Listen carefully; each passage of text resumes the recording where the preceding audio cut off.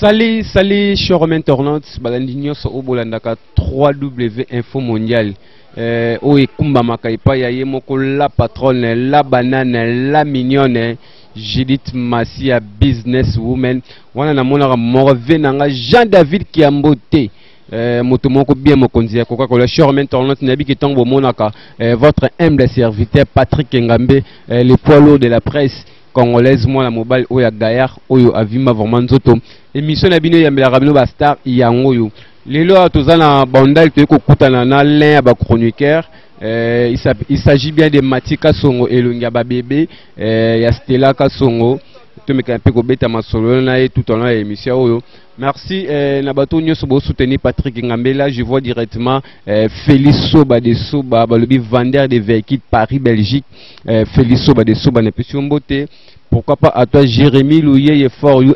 maréchal merci na daridi wa ntesa na nsima ya kamera eh, okoki kofongola vraiment na yamba invité na nga awa elongi ya babebe mati kasongo bonjour mati kasongo Ouais Patrick Ngambe bonjour bonjour na ba internautes nyoso oyo bao tala biso na euh, info mondiale là je dis merci na, na Daito Simpia petit Daito Mbote euh, petit euh, Vistera Kasongo la merveille la baronne la vraie la patronne napesi ye mbote napesi na ve na ngai meri mbate napesi ye mpe mbote napesi didie okamo uh, na yo moko toza todevelope toyeba bamasolo nde nini ezala nabwaki uh, uh, boutique pams boy fashion pams boy fashion na ngambo boutique wana napesi yango mbote en tout cas toujours évoluer quoi on est là Voilà Matika Songolo toyambi yo eh, oza garçon liboso eh, ndenge biso nyonso toya donc eh, bakuta yo vraiment ba garçon tout basalaka baémission na internet bakuta Matika Songo asalaka déjà émission Matika Songo olongo clé boa osali ya yo moko clé ya Congo na mito osali clé ya Congo na mito clé ya Congo ezo évoluer ndenge ouais omoni euh... Na vie ya le le bas nde nalobaka cle ya Congo pour le moment ça va il ya de video malgre on fait un effort ya kokolisa ba abonne euh, komatisa pe mwa ba vie par rapport ya actualité tozalazala sur temps mais ça va cle ya Congo tozobunda naza te wana soki ngai moto na banda internet foka ngai nazala liboso to soki kaka ngai moto nasala eloko moko boye foka ngai nazala liboso te makambo mosusu echangaka mpe esengaka mpe ya mo rotation na makambo tomonaka mwana mayele oyo azalaki na première primaire ifo ntango aza mayele makasi fo amata deuxième fo amata troisième mpo atikela mpe bamosusu bakoya na première primaire batanga baoyo wana mpe bamata bawana mpe mabanta donc Lelo oyo ba internautes batu bakoma ebele na internet eza combat cage faut obunda po uh, otya liyaka po ozala toujours na kombo ozala pe toujours na top quoi donc clé ya congo bandeko en tout cas nakosenga bino uh, bosabone vraiment na clé ya congo bokota bomaita bavue Botala ba images boyebi ke ba images ya Matika Songo ezalaka deja ndenge moko te na batu nionso à part que ba bayamba ngai mpo moto mosusu mais nga moko nasala emission na nga ezalaka ndenge moko te na batu mosusu donc en tout cas nasengi vraiment à travers info mondial bosabone bosabone vraiment vraiment vraiment vraiment ebele et puis euh, esalanga bien quoi voilà masika songo vraiment toyambi yo na émission mpo tomeka mpe kosola par rapport yo oza moto ya liboso nde tobika moto ya liboso abanda internet quoi eh, na biso bajeune oza moto ya liboso mais par rapport ndenge osali eh, osala site na yo eh, na nkombo na yo na site nde ezokende eza ko évoluer vraiment te clé ya congo eya na bato mosusu basali basite na nsima mais baza na vitesse makasi eh, basite na bango par rapport ya clé ya congo eza nini olembi kotravaille to ozotravaille na bato moyo baza ba incompétent bakopesa le meilleur te en tout cas je travaille euh, normal euh, eza bapartenaire ba na nga bamosusu nde basalai moko foshe nga na ba travers ba bilo ya mike mike nde ezalaka ba contrat tosignaka mais cette fois-ci toza na nathalie frank nathalie frank econation donc euh, partenaire ya cle ya congo uh, eza ong uh, econation na sur bato so bakoti na na youtube na ngai na cle ya congo bomona ba, ba trois émission ya econation ya badon ya roliesa donc eza ya ONG mon boye pour les enfants de la rue tu vois baoyo baa na pasi bana oyo babwaka en tout cas econnection on est là on fait quelque chose de bien mpona kosala makambo ya bien nde sikoyo mwa baproblème mpe susu ya baconnexion tu vois modem na ngai esalaki mwa kobunga nazali na mwa baproblème mwa mike mike epuis toyendaka kozwa naozwa mpe retard mombo mpo nakomaka na vitesse naozwa retard mo ntango bakangaka uh, ex monteur ya cle ya, ya elenge ya congo ya mike lokamba bakangaka mpe na bamashine na ngai na bamateriel na ngai mais après toye kozwa tofungola ma en tout cas on va faire un effort ndenge nazoloba vraiment donc omoni bato so baolobaloba elo moto il faut luka mpo change opesa le meilleur de toi epe bato mosusu babengi ngai bayebisi nga nazongela na baémission na nga mpo patrik na ndenge ya mabe te ngai nanga bajare ya baémission mosusu nasala bato bakosala yango te ngai nasala presque tout l'émission epuis émission yango eza baémission posé baémission kote ya mawa na tie mawa kote ya esengo na tie esengo kote ya kolela na leli Donc c'est pour cela je veux un peu kozongela kozala lisusu matika songo na ndenge ya ya ideologie en tout cas ekomi pe koswanga mwa trop quoi komi mwa mwa koswanga mwa trop bato mpe bayaki nsima na nga basite na bango ezo évolue nga toujours bakoko so natali frank ya connection nayebi ke soki otala émission yango charge na yo yeba koassume yango parce que yo na ngai de nature toza na bana palais eh, bana yolo mabele oza na angleterre wana na londres kote ya bastela ba kasongo la merveille na manchester donc baime bidosha bazali basungaka mpe travailleur no epuis eh, bato na ngai dadi mavunguvungu le papa na bidash na uh, ya dada ya dada na france wana apesi bino mbote na na président uh, na président na biso Euh, bo excuse hein? bo excuse moi idée eoya par rapport ya président ya biso euh, président Toubi président Toubi le boss président Toubi Toubi le boss wana ba vie na nga kati en tout cas na sepeli déjà na geste ndenge tolobaka kaka quoi voilà matika songo euh, tovanda na mwa moke par rapport ya mosala na yo par rapport à ba travailleurs no eh, oyo ozalaki na bango avant toyebi ebele bakoti koti na basite mosusu raison na bango ezalaka ke matika songo afutaka bato te ofutaka te epuis ozwaka mosala eh, en fait na kilégèrete ya moko boye soki moninga abimi na kamera ki atourne video na ye ntango ekoya mpa na yo soki mpe apesi montere olandelaka te suivi na site na yo eza te pourquoi d'abord ata mwa mpe ndenge bosolo ofutaka bango ofutaka bango te yango bazolongwalongwa pourkoi ofutaka bango te patrick engambe on travaille pas pour être euh, payé ou non payé te on travaille pour être payé mais soki moto ayebi soki nafutaka ye te premièrement akosi deuxièmement nasala nasala cle ya congo na crea bato na nga moko donc cela veut dire ngai nazwa moto ya motu te na crea bato na nga moko bana na nga moko batravaille na ba na baaccord oyo na creaka na baaccord oyo nasalaka na bango nayebisaka bango temps nini ekozala temps nini ekozala te mais nde ezalaka na mosala nyonso mosala ezobeyaka te ozwaka mwa lopakolos ozwaka mwa lokie ezosala yo mwa jar mais mpo na koloba ke ndenge bato bazolongwa longo omoni yana bato mosusu na basi basite ebele nde to abo bafutaka te bafutaka te bafutaka te donc ingo olobaka te ke ba petit ba longo pa na ngai baza nde ba ba non nga mona créer baza nde pressé baza pressé lelo nga parcours na nga nyoso na leka nakuta ba site par terre na matisa yango nazwa site ya nelo te nga na banda ba site mosusu nga moko do via liboso ekota na site wana ya nga natombola ba site na bunda natombola ba site ntango nayepa na nga moko nga moko force nasi na koli nazwa bandeko nasangana mais bana bazo comprendre te Patrick yo yebi de quoi je suis capable nga nasala nasala site internet wana na dépensa l'arte na dépensa l'arte na pesa Vincent Chulise kaka mbongo moyi ya mokie mais ba matériel o oh, ba laptop ba makambo nyonso na nango bato ya poto batindela nga pichu mangitu ka mon ami personnel na pesi mbote place oza mon cher oza toujours na motema pichu mangituka mangituka atindela nga camera atindela ngai eh, ba micro donc atinda équipe mobimba oyo na ya kosimba micro boye ya kosala boye mama na ngai moko nadine kasongo atinda ba laptop donc na boja na forsa eloko moko te kozwa kozwa kozwa mwa contre temps ya ya lisolo to kozwa mwa contre temps ya ya kosala eloko moko boye par rapport ya kopesa euh, mwa connexion to mwa vitesse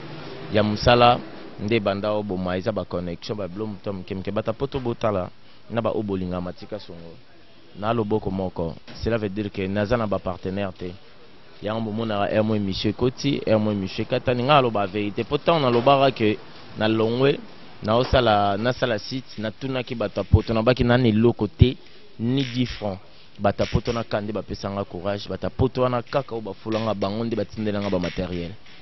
comprendre bamosusu na cle ya congo ezalaka nkombo na nga te moto moto apesango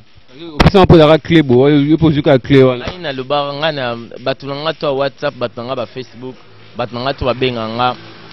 nayebisa bango boluka nkombo nini totya na site nayebisa bango bakongo zaire ya eh, oh bazaire oh bandona biso plus de plus de 1000 combos je te le dis mais moko moko kaka ntango natali ka euh, ve na nga moko yalinga te batanga nkombo na ye pa cle ya congo natali cleboa cle ya congo nabi ah eza mpe fierté ya cleboa eh? lelo cleboa mpo aboti mwana epuis eh, cleboa na boti mwana eza Kleboa oyo oh, nga nasali aboti su mwana natofaki yango normal na sans rancune comprendre sans rancune sans nini esalaka lelo euh, esalaka mpe fière clé ya congo eza mpe ata na abonne mo ata des abonne lelo clé ya congo so bato batali mpe bakotala ata mwa 12 vie comprendre eza déjà fier cela veut dire que nao travailler na perte te donc naza te kaka fo nabeta ba, ba 70 000 vie ba 100 000 vie mpo bato bamonaka naa na succès te un bon émission ya émission oyo les gens critiques oyo bacommente na se bacommente ata bakofinga o mais l'essentiel batali balobi balobi eza mpe na bato mosusu baconseil mosusu biso tozwa moto abengi yo te mais par rapport ka ya commentation ya émission nao acommente omoni erreur moi esalamaki ya nabongisa yango donc en tout cas je lance aussi un appel ya bandeko bana poto des journalistes car mpo bajournaliste na ngai nyonso naza sur na bango te natikali kaka na princilia ngai je pense bientôt fo nasala badeplacement princilia aza ye moko akoka te bandeko boza botala à travers cette émission oyo botala émission oyo soki boza na bandeko baa na poto bwana bandeko na kin ya basi to ya mibali batravaillera bien baza na besoin kotravaille donc auta epa mutu te nga moko nalakisa ye na encadre en tout cas je suis libre Voilà, merci. Il s'appelle Mati Kasongo, euh, ya Stella Kasongo la merveille. Na pesi mbote la patrona. Na pesi mbote lisusu na venanga Alain Django le roi de Chicago. Eh, venanga Alain Django, le roi de Chicago, pourquoi pas à toi, Belle Dolce Festival. Eh. Belle Dolce Festival. Voilà. Wana tozo solo vraiment na Matika Songo ndei kaka ezalaka. Voilà Matika Songo eh obanda musala oyo tozo baka ba liboso ya biso nyoso liboso ya batu ebele. Par rapport ndenge internet bato bakomi kosalela misala na bango ezala ba chroniqueur ezala ba chroniqueuse ntango yo mozovanda na coin na yo okota na net bozojuge yango ndenge nini babase koswana nga na voyageaki nga mpe nazo voyage par rapport ya yo ndenge obandaki idéologie yango ozomona yango eza nini eza koevole bien to eza evole mabe eza euh, eza koevolue bien eza mpe koevolue mabe bien eza lelo ba journaliste bakomi pe na valeur epa ba artiste ya musicien artiste ya musicien azobima libanda mboka amemi journaliste ya songolo pakala c'est déjà une, une très belle chose euh, mabe eza que benjir entre nous tu vois dans tout ce qu'on fait euh, toyebaka bafamille touti toyebaka mpe ke un jour tobala toza mpe na bana toa makambo ebele lelo nde ekomi uh, mo wana bus nde nalobaka yango naomobimisa fasade ya brigade na elobele eh, na ngai mona osantira yango wana eh, sara batya motuka eh, donc omoni lelo moto akomi moto akomi mpo kaka yebana il faut afinga acritie rien du tout ça paye pas quand nous on faisait cela tofingaka te tofingaka mpe mais ezalaka ya bajaro te jaki guerre mo eza loyal na mosala nyonso guerre eza loyal ngai na aigle jaune lams soki aosala mosala ne bien ngai mpe fo na travaille nasala mpe mosala na ngai bien tu vois donc euh, eza nango ndenge bato bazobulele te eza yango mpe te ndenge bango balingi bakomisa yango surtout ce sont de filles bakti bakisongisongi na bana mibali mosusu bakomi basongisongi mpo kaka kotambola na basi mais cette fois-ci je dis ceci étant que matika songo je veux plus parler de quelqu'un na baémission donc bato nyonso botikali soki boya kosala émission na nga boya kotuna obe makambo na ngai donc ngai so otuni makambo na ngai je réponds et puis en plus bato nyonso na olobela wana on me paye pas nakomi avant nalobela moto fo futa ngai fo futa ngai so ofuti ngai te mobulu kua voilà matika songo toza na yo par rapport ndenge olobi ke eh, ekocree base ere moko eza nango bien eh, na ndenge ya bien eza nango bien na ndenge ya faux mpe eh, eza nango vraiment mabe sikoyo par rapport ndenge eh, ozomona bandeko bazosalela misala na bango matika songo nde ozomona bandeko baosalela misala toki nano na bandeko basi mpo na bandeko basi ese kotanga so ata trois omoni ke baosala mosala na bango bien ata trois ya pamba kaka omoni ke non eh, ata ozocree ne base mais aosala mosala nebi na bien patrick nalobaka deja ba wana eza ba, ba question piège otalaka tu yoza moto obandi maso neti nga mpe okotuna nga nakotanga mpe bako basaka mosala bien eza eza sana bon yo otuna nga na mission mosusu wana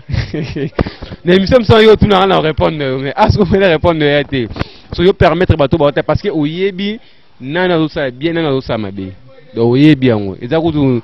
ça n'a rien à voir na makambo ba polémique ça n'a rien à voir na makambo mabe eh, non euh, basalaka bien à part buzoba mais j'apprécie beaucoup gloire olangi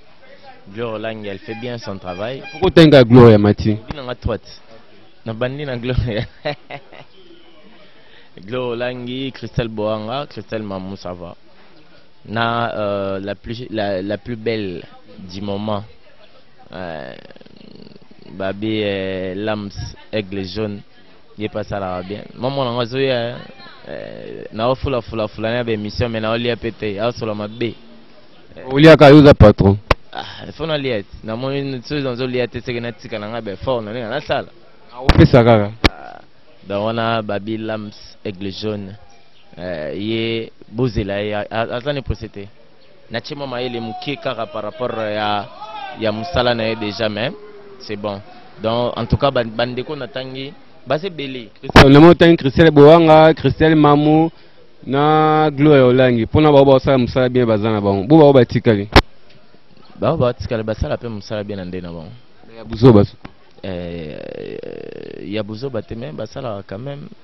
bon nazwa vraiment temps ya kotalatala baémission patrick yoyebi na kini totalalatala baémission bato te baconnexion oyo wapi yango tomekaka mwa butu omeki omeki me kotala ma émission motu du début à la fin rien du tout mpo ngai nazalaka eloko ya liboso soki nayi natala émission motu eloko ya liboso natala annonce na ye annonce oyo natali yo kaka début annonce soki osali bien na ozwa temps otala mais soki orate déjà annonce oyebi te na otala te mpo eloko ya malonga na okuta na kati eza te c'est tout voilà tozo évoluer na matika songo sikoyo toye côté ba garçon côté ba garçon parce que mosala yango eza tous les deux côté côté ba garçon matika songo otangi biso deya côté basi otangi euh, baoyo baoki bakombo matika songo atangi baoyo baosala misala bien côté ba garçon sikoyo ata mpe kaka trois ba garçon euh, frank stemai c'est bon euh, vincent chilise euh, yo moko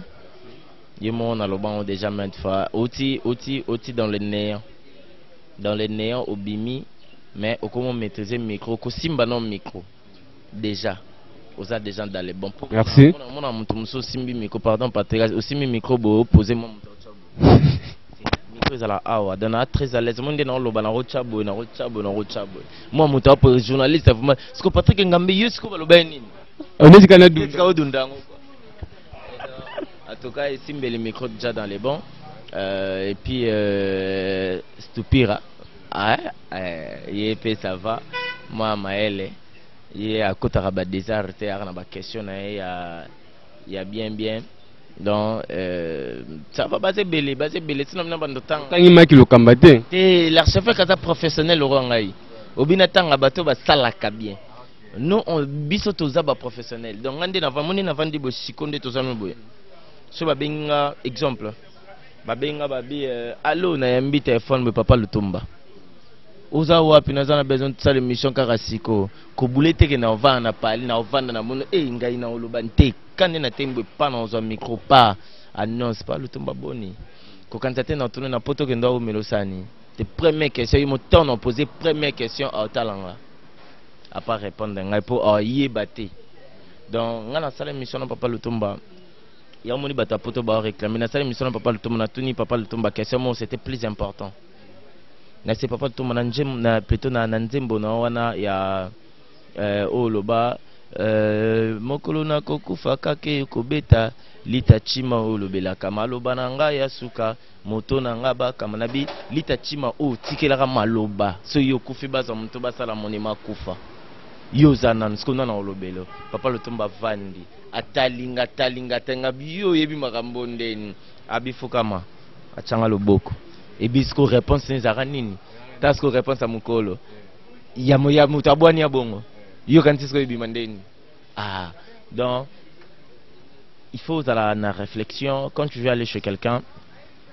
ya kosala émission kozwa ka temps te mpo babi matika songo alobaka matika songo mpo nga, nga ta na baémission d'abord je parle bien je sais ce que je suis en train de dire et de répondre na baquestion nga naza te kopose nga question mokata nanu ko te mbala moko automatiquement comprendre tango osala eloko faut linga ngo faut yeba ngo donc bat ba ndeko baza ebele Mike Lokamba c'est un professionnel comme moi biso na biso na bino toza nde monte eza na bino bosalaka bien biso nde de na bino na bino ba professionnel tango yo na Mike Lokamba professionnel musu aza te te wana tu atika ba loko ba loko o to tika ba loko ouais mais ngai na Mike toi ba professionnel biso bato bandi yango biso toi likolo na numéro 1 bino ba ba numéro 2 Mireille Lukusa. voilà, il s'appelle Matika Songo. Mati, tu comment qu'il n'a pas malem malembe euh, na chute na biso émission. Lelo to komi lelo to komo mona ba chroniqueur euh, na ba chronicos ba komi na ba ba komi na ba ekiri. Oui, na otulo parce que yo muto banda masolo. Nga na yeka pa na yo parce que yo muto banda. Na ngai na bato ba otala na biso nso nde tosala émission toyebi ke garçon ba na internet liboso c'est Matika Songo.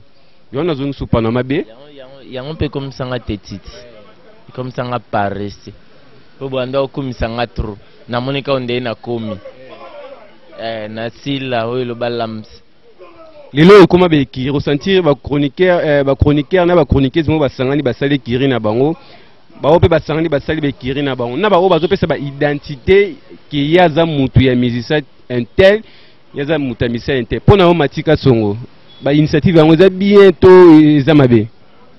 euh, première question ezalaki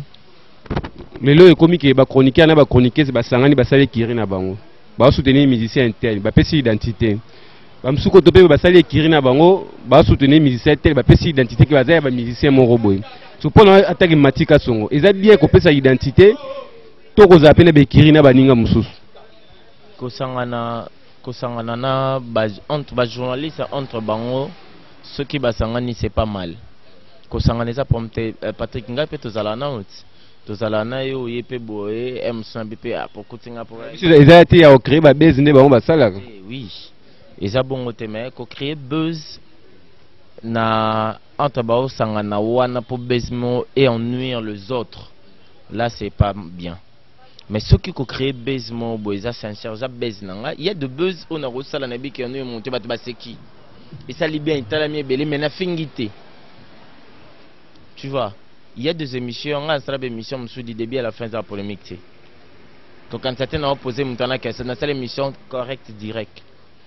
donc kosangana mpo kobakisa na un plus ya mayele la j'encourage euh, bango mais kozala mpe na je m'excuse kozala mpe na parti pris ya musicien moko boye que ça se voit ce mal parce que euh, biso nyonso toza bafanatique motu nyonso aza na motu na ye moko moko moko alingaka mais ça reste à l'intérieur na motema na yo parce que oza homme public oza homme media oza uh, moto oyo aza koporte en plus kolakisa bato koya komema message donc soki omi déjà kolakisa façade na yo ke nazalaka ya moto aboye moto akote kuna mpe ya mosu akoba ye yo moto mpe boye akoba yo mais zala no moto ya moto wana me bomba esukela bino mbale na motema mpo na kotravaille na moto kozala tache de presse na ye la c'est pas mal Tu peux te faire voir au lobby na yo, na, na ba TV, tu te montres que je travaille avec ce qui est, c'est là, c'est nani, c'est qui, c'est si, nionso emballé, tout. Comme moi. Lelo naza, naza, naza attaché de poste à brigade. Ils a reconnu, ils a teke na na rando na mutu moro à sola na brigade te. Naza na Fabugaz, mais... Pas Fabugaz, vous avez attaché les presses, tout ça, nous, mutu kaka, nenga ka ya, ya, ya,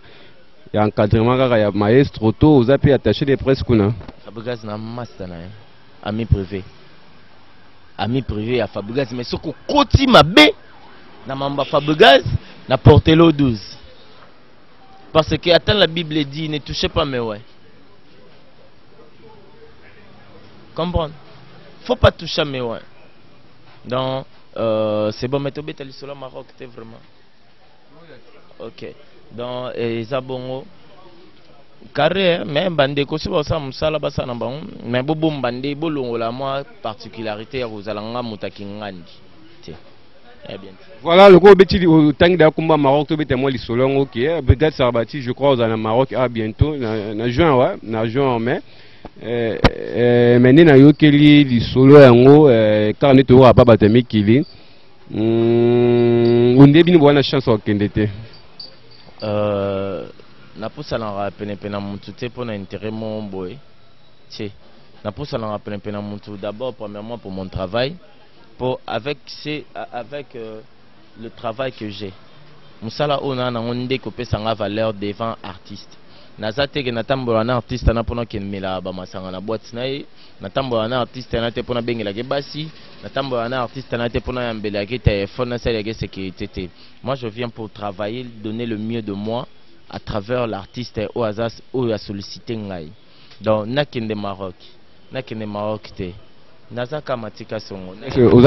okotilia ya passeport nayaki nano mpo na mosala nayaki nano plutôt mpo na maroc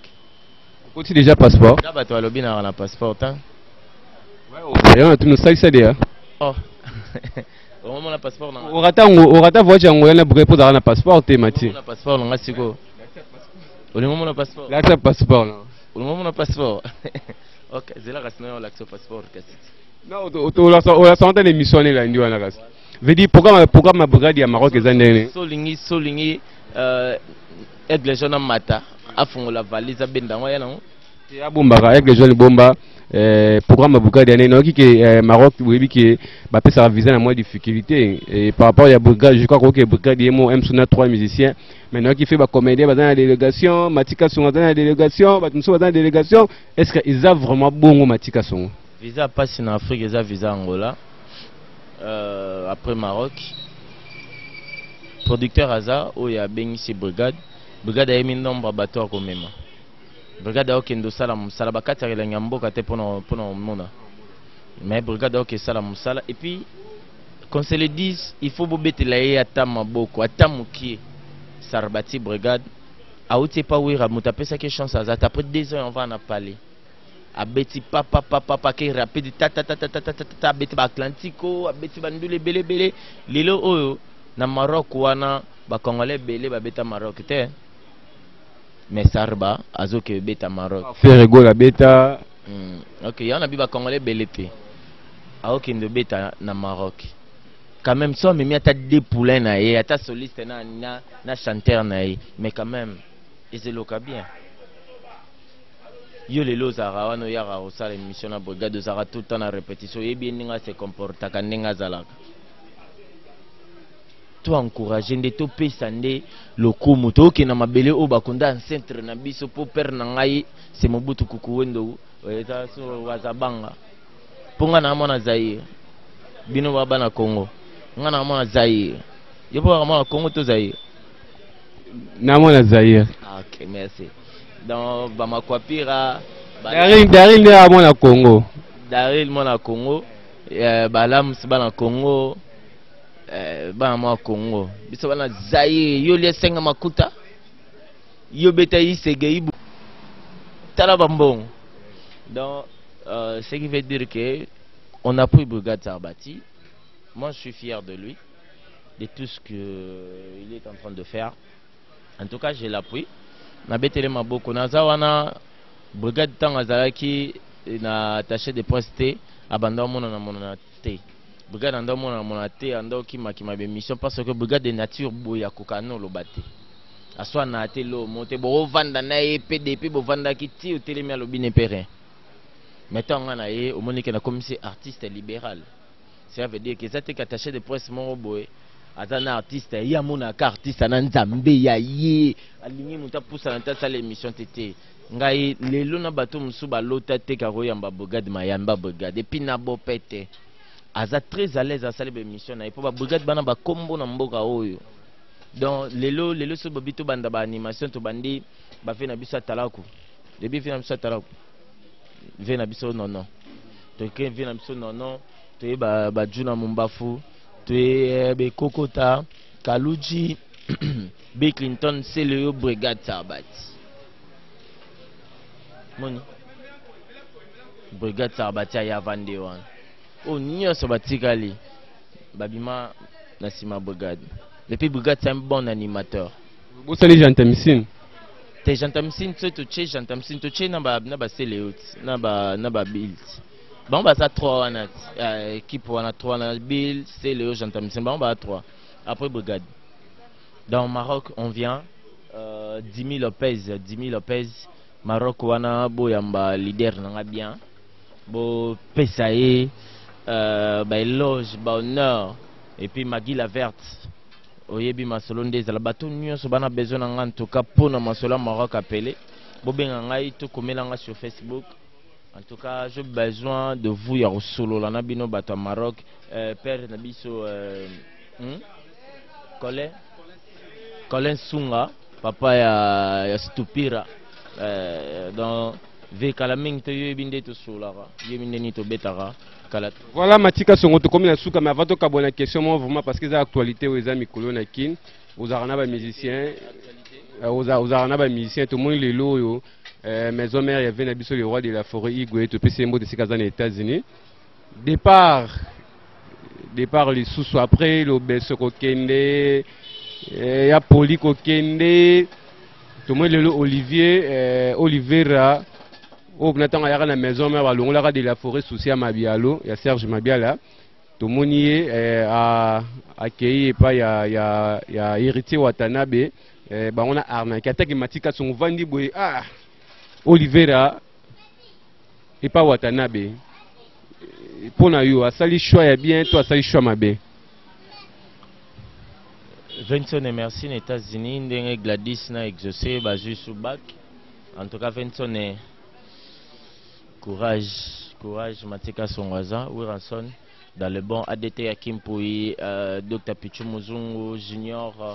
Katakata et puis sans oublier Maître Ninja Tokos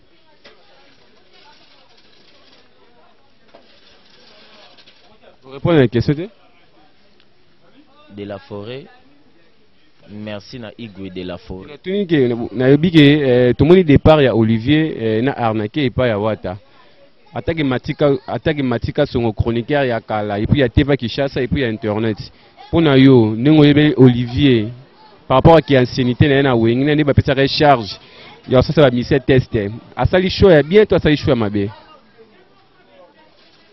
merci na lams aigle jaune merci na stella kasongo la merveille merci na stupira merci na exaucé na gladi Voilà, merci. Tu comme sous quand comprendre que euh, vous avez pour ça répondre à la question était. Pourquoi nous avons besoin de répondre Nicolas, na omo lobela bato ba opia mbongo. So pia mbongo na lobeli, so ptia nga la te pona okufa pauvre likolo ya lobela bato. Siko na boyi na nga kopesa mutu conseil, na koti siko esprit. Na boyi kopesa mutu conseil, na boyi pe koloba makambo ba bato. Pona lingi te, rien du tout. Donc avant na lobela likambo na yo,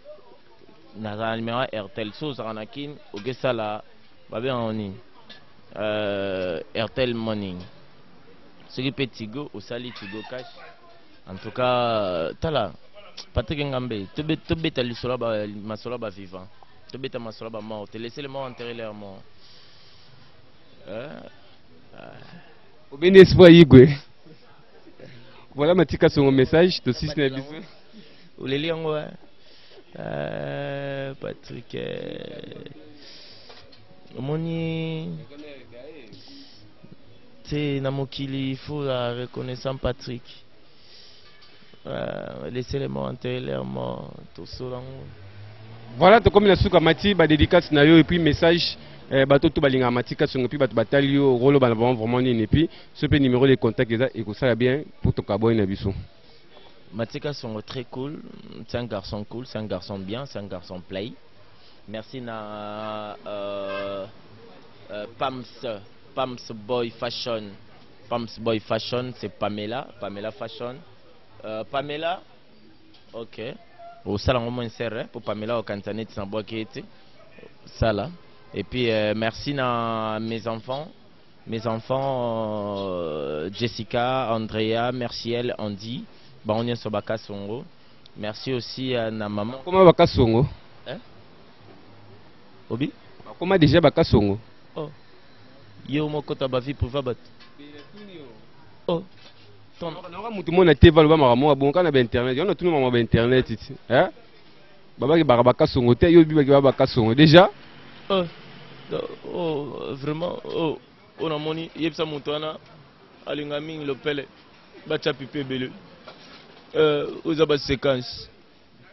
Wana bana, bana matika, son temps na mi bakasongo, cela veut dire mes enfants. Fabregas Mbouyulu, bon séjour à Belgique. Euh, bébé, bébé Jay-Z, euh, maman et puis notre bébé. En tout cas, euh, merci na bino bino tout au bolingaka MK Matika Songo, le fils à papa